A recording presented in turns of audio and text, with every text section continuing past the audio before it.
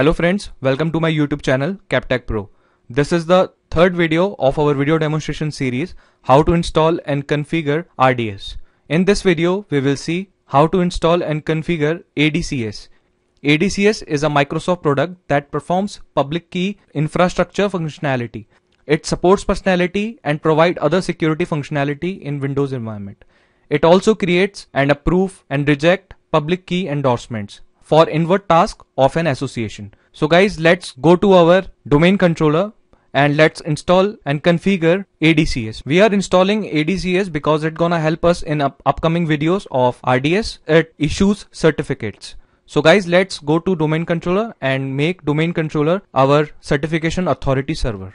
Okay friends, so now we are on our domain controller. You can choose any server for installing this ADCS and give certification authority to any server. So we'll open server manager and now we'll click on add roles and features. And before you begin, we'll click on next.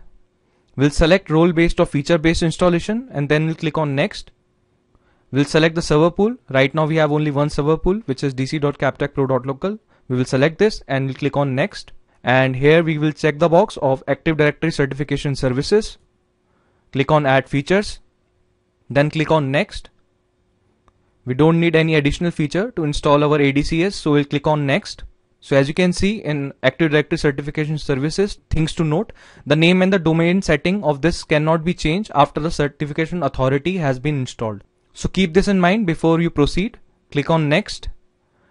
Okay so as you can see in select role services Already certification authority is selected and below certificate authority we have certificate enrollment policy web service and certificate enrollment web service. These both roles are used when I have servers outside my domain. So I am not gonna select this because my all the servers are part of domain.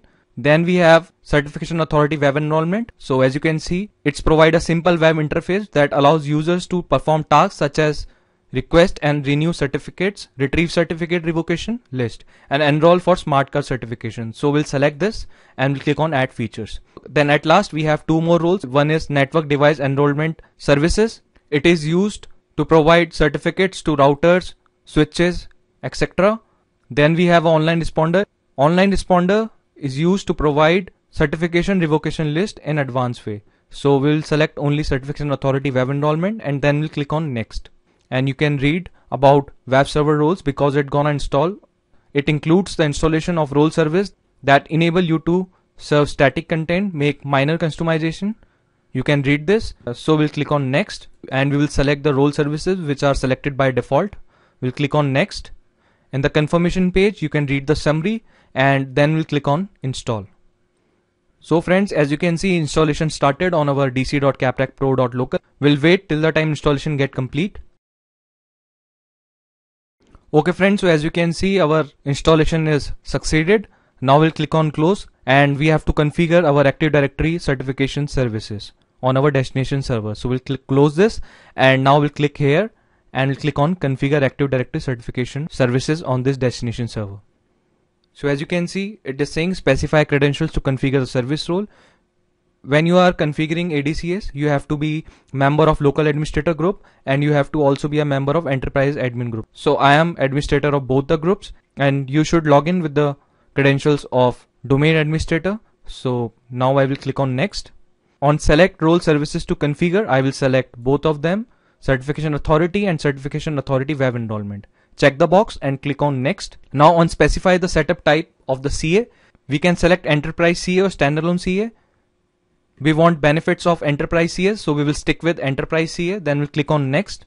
And now we have to specify the type of the CA so this is our first ADCS the certification authority will be root CA not a subordinate CA so we'll leave it by default. And now we'll click on next. And now the specify the type of private key. We don't have any existing private key so we will select create a new private key. And then we'll click on next Okay friends, so now we have to specify the cryptographic option. We will leave it by default. We'll click on next. And as you can see, it has generated the common name for the CA. Basically, the common name is generated from the computer name and domain names. And now we'll click on next. Specify the validity period. It is asking a validity period of SSL certificate. So we'll leave it by default. We'll click on next. And this is the database location certification database location and certificate database log location. Leave it by default. We'll click on next. Okay, on the confirmation page, you can read the summary and now we'll click on configure. So as you can see, it is configuring. Wait for some time. Okay, configuration has completed successfully and now we'll click on close. Okay friends, so we have successfully installed ADCS and now we are good to go for issuing certificate. So friends, now we will open our certification authority. We'll click on tools and now we'll click on certification authority. We'll maximize this. Okay friends, so now we'll click on certification template and we'll create one. So these are the templates which are published to CA. So for creating template, we'll right click on certificate template folder. We'll click on manage. So this opens certificate templates console. We'll maximize this. And as you can see, these are the templates. What we will do is we will pick one of them and we will create a duplicate template. We will copy it and we will customize it. So friends, we will right click on web server. We will choose this and we'll click on duplicate template. It will open properties of new template. We'll click on journal and we will give a name to our new template KTP SSL cert.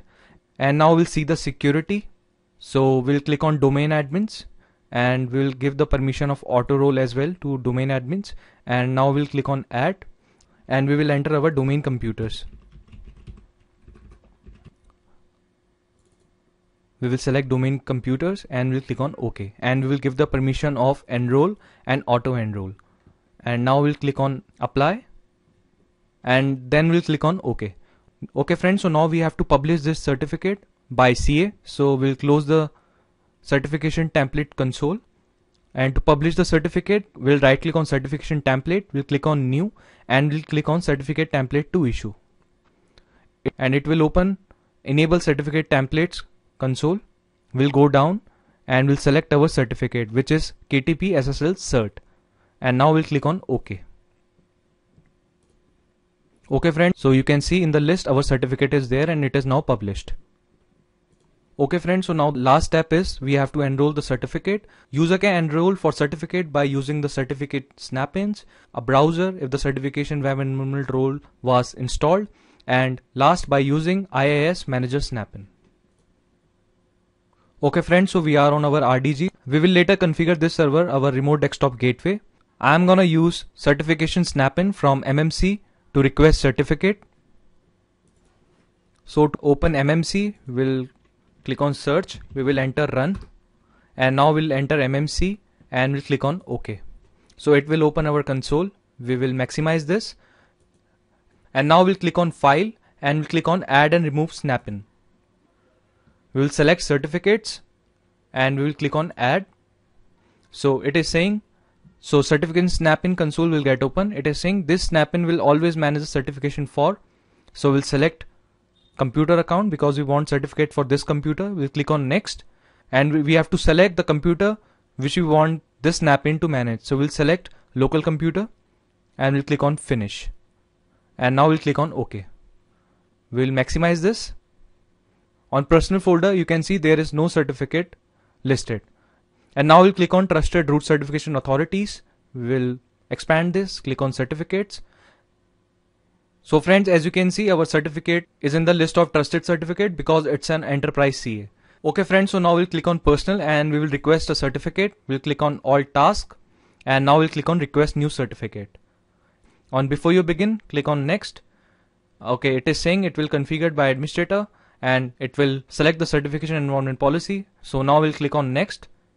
So as you can see, this is our certificate which is KTP SSL cert. Now we have to check the box of our certificate which we want to request. So as you can see we are not able to enroll because there is a link we have to provide more information. So we have to click on this link and now on subject type we will select common name. Now we have to enter the subject name which will be mentioned in our certificate. Okay friends so we'll select common name and we will enter the computer name which is RDG. We'll click on add and now we will enter FQDN name of, of this server which is rdg.captechpro.local this is the FQDN name. We'll click on add. Now we'll click on apply and we'll click on OK so by giving the additional information and we can enroll our certificate for request we'll click on enroll. We have su successfully enrolled our certificate. Now we'll click on finish. And as you can see on certificates our certificate is enrolled. So guys certificate basically are used to validate identity for encryption. The client must trust the CA in order to accept the certificate and the name on the certificate must exactly match the name of the computer or the website. Revocation information must be accessible for the client to accept the certificate. You can use a public CA for the internet website and, and if you have control on clients, you can use a private CA can be used as long as the client trust trust the CA. So okay friends, we have successfully listed our certificate. We will use this certificate in our upcoming videos of RDS. That's it for this video demonstration guys. I will see you in next video. For more informative videos, you can check my other video links on the screen and subscribe my channel and press bell icon for more upcoming videos. I will see you guys in next video.